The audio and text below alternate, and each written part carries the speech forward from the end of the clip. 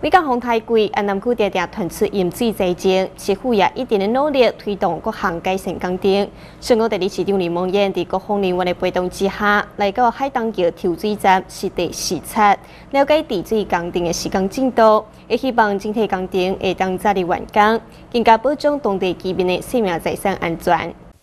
今仔日上午，代理市长李炳干伫市府水利局长彭少波等人的陪同之下，亲身到位伫安南区的海东桥抽水站来视察。目前抽水站一定会当使用，村路面铺平工程，预计十一月底会全部完工。现在气候变迁吼，有当会落豪雨，咱的这个咱的内底水就排袂啥会出来，哦，因为都受到加南大圳的这个影响啦，啊，所以咱真正沿那个咱安南区吼，哦这边吼。因为很多地方大概需要设设抽水站，除了较悬，河村遐较唔免，村内家还是有需要哈。啊，所以我想这几项，才请水利局，哦，给阿妈咱议员啊，加加李委继续带咱斗三工哈啊，互咱规整个安南区的这个治水，会使愈来愈完善哈，愈来愈愈愈愈会使解决咱遮的问题哈。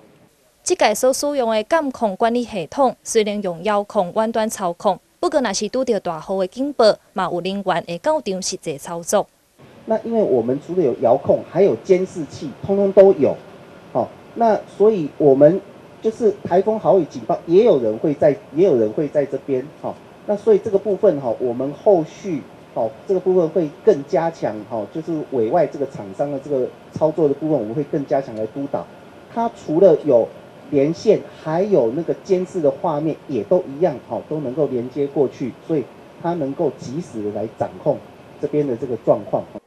这届工程因为勘测到地下管线比较较复杂，所以伫施工期间封闭安通路，造成用路人无方便。市府水利局表示抱歉，最后嘛希望讲伫各方的努力之下，会当早日完工，和台南的治水系统有更加良好效果。记者陈宇安南区采访报道。